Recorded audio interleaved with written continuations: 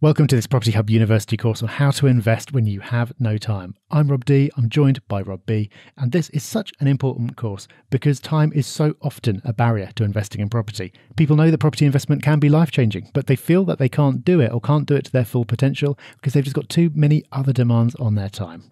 Well, in this course, we're going to remove that barrier for you. So, we're going to start out by talking about how to choose an appropriate strategy.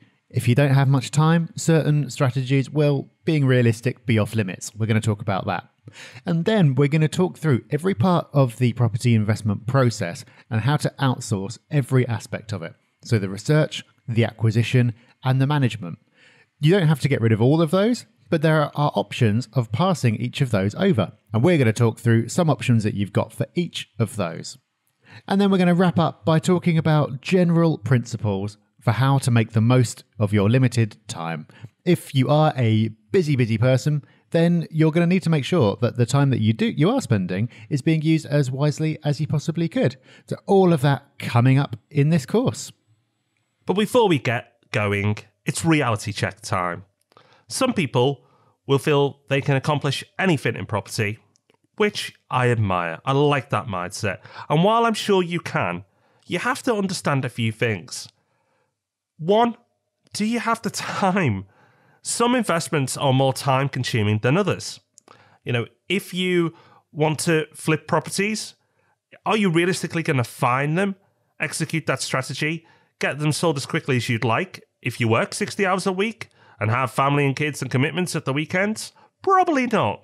So there's a few things you need to consider here before you get going with any of this is the time that you can personally invest, the cash that you can invest, and one of the most important things is what are you good at and what do you enjoy? If you are trying to do refurbs by yourself and you're rubbish at DIY, it's not a good match. Be self aware, understand what your strengths are, double down on those, and also where your enjoyment comes as well.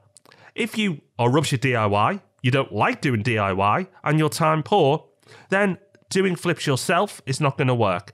So understand your situation. You may have not considered outsourcing any parts of the process in property investment, but the good news is you can outsource it from start to finish and focus on the things that you are good at in life, whatever they may be. So let's start off with one of those first areas that you're going to come to in property, wherever your strategy, and that's the research before you actually get going the research, or as I like to call it, the fun bit. I love doing research. research is awesome. I love spending lots of time on Rightmove pretending I'm working. I know you do too, Rob. No high ground for you on yeah, this. I do. But if you do not share my love of research, or if you really are pushed for time, then you can pass this over to someone else. And even I, even though I love this stuff, do pass some of this over because I just don't have the time. And this course is called How to Invest in Property When You Have No Time. So, the easiest way to pass this over is to take on an assistant.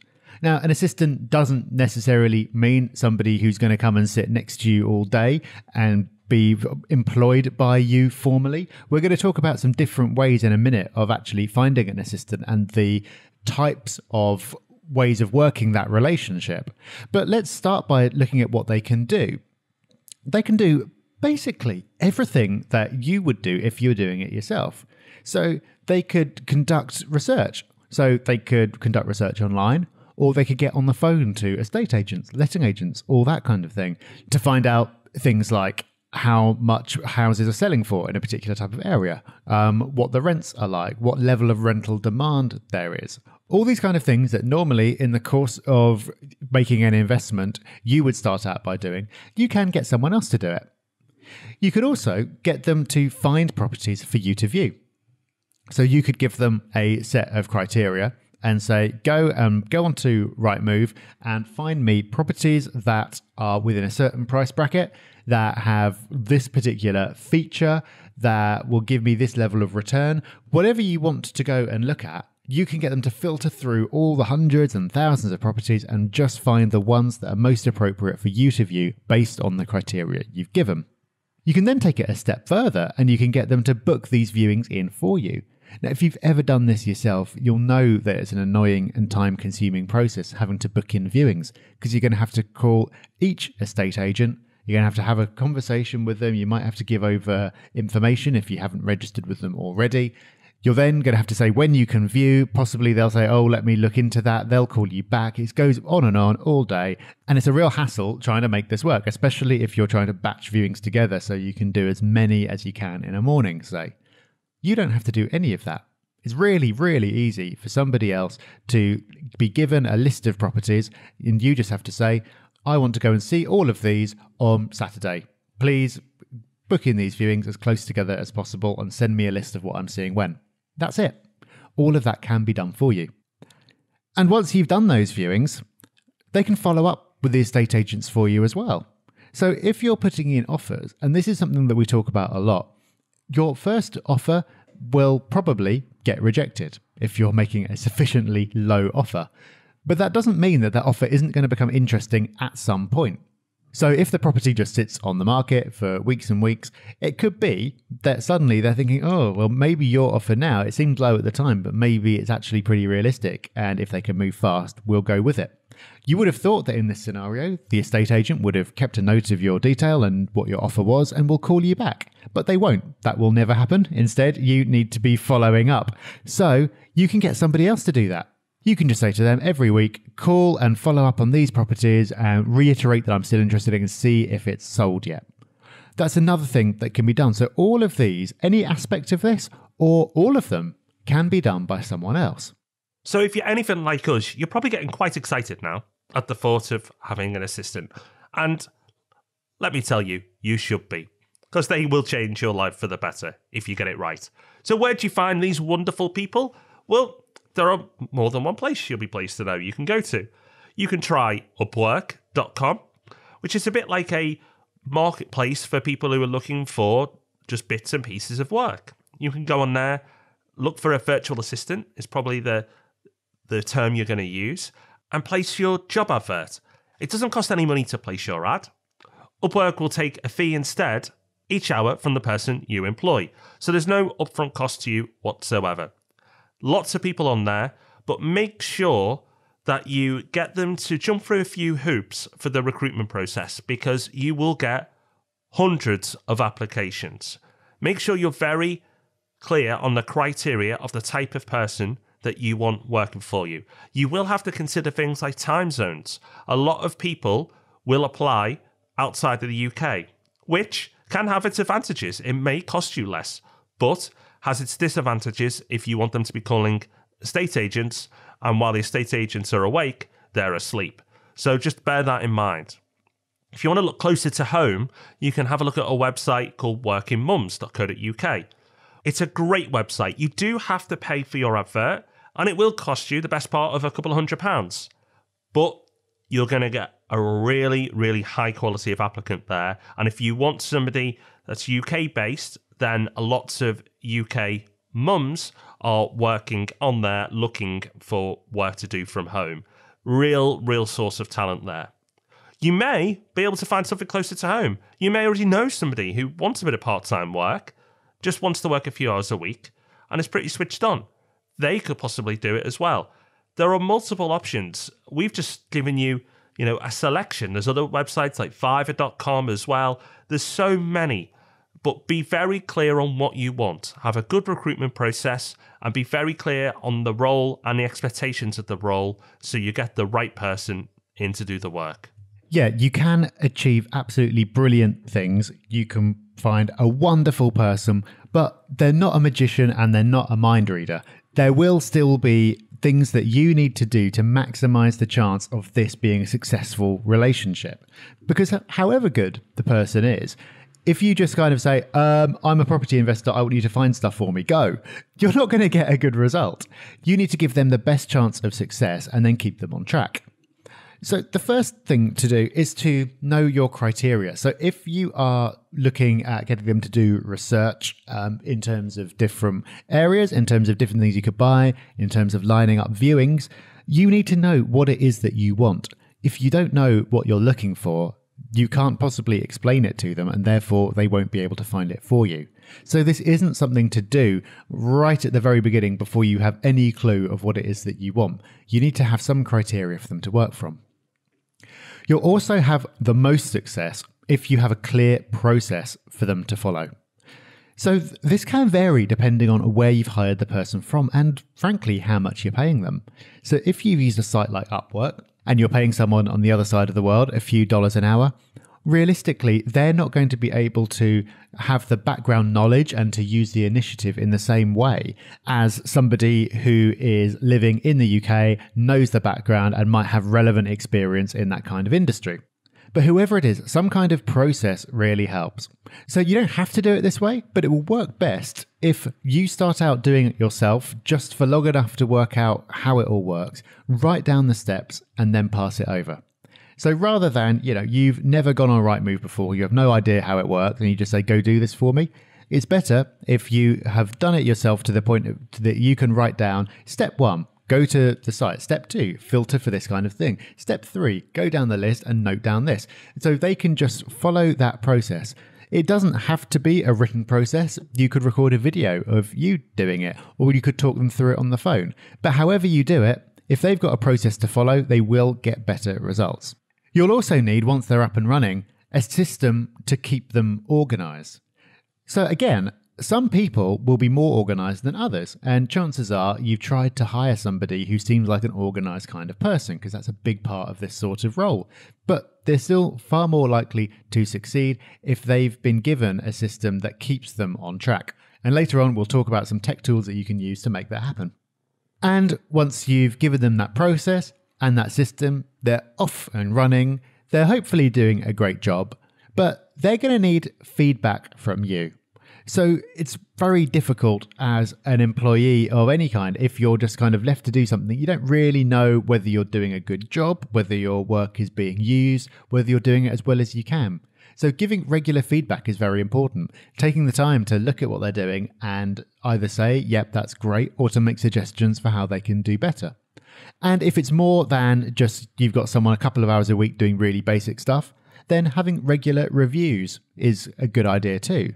This can be anything from like a weekly or a monthly call, a formal check in, or it could be something as simple as every day they send you a list of everything that they've been doing and you send something back. However, you do it, it's really important to have these three things the process, the system, and the feedback those things together will give you the best chance of having a successful relationship. And the more effort you put in, the more likely you are to get the results you want. And ultimately, that makes your life a lot easier. And it means that your property research will be done successfully with far less time input from you than you would have needed if you were doing it all yourself. Don't let this put you off. There may be some people now going, well, actually, I may as well just do it myself if I take the time to set all that up. And that's where so many people fail. They'll go, oh, I'll just carry on doing it myself. But the thing is, five years later, 10 years later, you're still doing it yourself. Taking the time, that little bit of extra effort and work at the beginning to get these things set up and right will start to pay dividends for the rest of your life with any outsourcing. Do this right, and then you will be so thankful to yourself that you did. It will make a huge difference. So don't let it put you off. Get it done. It's done once and it pays off for a lifetime. Now, cement your learning by taking the quiz. Then we'll move on to the next module. Okay, so you've outsourced the research stage. It's now time to look at outsourcing acquisition. You can get helps with part of the process by bringing in somebody to just do a bit of the role, and we'll talk about that shortly. Or you can get a company to outsource the whole thing by using a specialist sourcing agent or company. Again, the companies and agents will do different levels of service, and you have to understand what they are. But you can get somebody to do a bit, or you can get somebody to do it all. Okay, so let's look at the first option there. So you're not handing the whole thing over to a company and saying, find me a property. You just want to help with a specific aspect. And let's look at the different things that you could get help with. So you could get someone to find the properties for you. So this is kind of an overlap from the research stage. You could get somebody remote to do that, or you could find someone local who knows the area to find properties for you. You could get help with actually viewing the properties. So especially if you're operating in an area that isn't that close to where you live, you might find it more convenient rather than doing the viewings yourself to get somebody else to view those properties. And this is where it comes back to process again. If you've put together a checklist for them, they can just go through and use that checklist to note down everything that you need to know about the property. They can take photos of it and then pass all that through to you. And that means that all the information that matters to you for your decision making is captured. Without a checklist, they could just go and see it and go, yeah, nice property. But that's not very helpful to you. So that can be outsourced as well. And also, you could get somebody else to price up refurbs for you. So if you've got a local contact who's a builder or is just experienced at doing DIY and that sort of thing, or is a retired tradesperson, then they could actually go and price up potential refurbs for you to save you doing it yourself. So these are all parts of the process where, first of all, you might think, oh, really? Can you really get somebody else to do that? And yes, you can. It might seem weird, the idea of not viewing a property yourself. I'm not saying you can't view it yourself at any point. You don't have to, but somebody else can be that first filter for you to save you time. It's far more efficient for somebody else to go and look at 10 properties and weed out the nine that are no good than it is for you to do that yourself. Because then, even if you do go and view it, you only have to go and see one property that you know ticks all the boxes instead of 10. So, if you are going to outsource some of these acquisition steps, how do you do it? Well, you're going to need someone local for the majority of this, and there are various ways of finding people locally. One of those ways is Gumtree. In some areas, Gumtree is very active. So in London, Gumtree is huge. There's loads of personal ads on there. In other areas, not so much. But if it is active in your area, that's a good place to look. Another good place to look is streetlife.com is like a local social network. So people post on there about all sorts of things, whether it's local events or things to buy and sell or donate or whatever it is. Loads of things on there. So there are going to be plenty of people on there who will either be able to recommend tradespeople or will know somebody who's looking for a bit of extra work. There'll be a fair few retired people on there who are maybe just looking for a few hours of work a week and have relevant skills or experience. And then there's things like the local paper, and there's adverts in shop windows and all that sort of thing. Things that are a bit more old school, but they do work. There are lots of different local networks that you can tap into. And it sounds like a bit of work, and it is. Of course, it is. Finding the right person is effort. But like Rob said before, once you've gone through that process, it means a whole load of stuff you never need to go again. So you might be able to view 20 properties in the time it takes you to find somebody uh, to go and do it for you. But okay, once you've done that, you then never have to go and see a property ever again, and you're saving time every single week for the rest of the time that you're investing in property. So it's well worth the upfront investment of time. So the other option you have available to you is to use a sourcing agent. Now, this could be a individual, it could be a company, and they could do different things for you. So if you want a HMO, there are companies and individuals out there that can help you through the steps because you know it is a bit of faff getting them up and running and finding the right properties to make that model work. Or if you just want a great deal and you want a property that's below market value, so that's buying it for cheaper than the market says it's worth. Well, again, as you'd expect, that's not easy to do you'd want to do it, but it's not easy to do. So there are companies and individuals out there who can help you do that. You can find them everywhere. You can go online, you can go on forums. There are local property networking events that you can ask for recommendations. Finding them won't be difficult. In fact, many of them will try and find you, especially at networking events. You have to be careful because people go there just to try and find clients. Now, don't worry, at the Property Hub meetups. They're friendly and there's a no selling policy, so you'll be fine there. But at other networking events, you may come under some pressure. Be careful though, be wary of people like that. If they're that good, do they have to use pressure tactics? They will add a fee to the purchase price. But that's fine. If it's a good deal, then it's worth paying for. So let me give you an example. If somebody finds you a deal that's £20,000 cheaper than the market value, you agree with that because you've done your research, and they want to charge you two to four thousand pounds for that, well then it's still a no-brainer because you've made that excess cash by buying well. But do your research, and that's really the most important point here. Research the company and then research their research. So one, are they a good company? Unfortunately, as I've already kind of hinted at, There are many people out there that you wouldn't want to work with, and many companies that you wouldn't want to work with as well. Great marketing doesn't mean great service. So do your research, ask around, look on Google, page one, two, three, and four, and make sure they've got a good reputation. And then once you're comfortable with them as a group of people or as an individual, then research their research.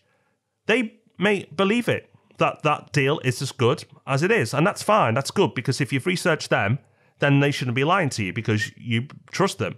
But they may have made a mistake. So research their research. If you research the company and then research their research, you're in a stronger place. You can trust the people once you've done that, but also validate that trust at all times. That's a really important lesson is trust but validate. Research them so you can trust them, and once you've got the trust, research their research and you can have a winning relationship. But don't cut corners. Your time is well spent on the research part. Now cement your learning by taking a quiz. Then we'll move on to the next module.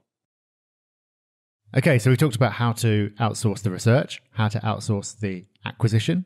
Now, what about the management? Well, outsourcing the management of the property once you've actually bought it and you've got it ready to let out, that's the easy bit because that's what letting agents are for. So, if you want to outsource the management of the property, then just use a letting agent. It really is that simple. But that doesn't mean that you can just pick the first letting agent that you chance across on the high street. You need to make sure that they're good.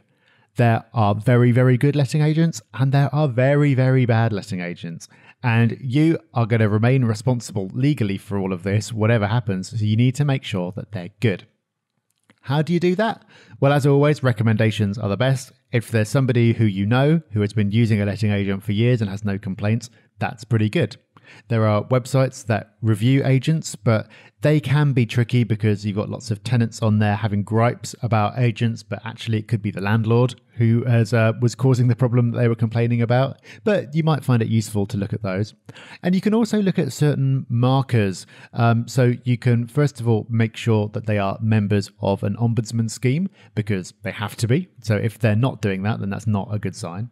You can check that they have got client money protection. That means that any money that they hold on your behalf, like deposits and rent ready to pass over, is protected.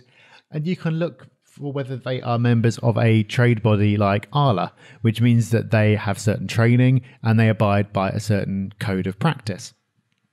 And you can just go in and quiz them as well.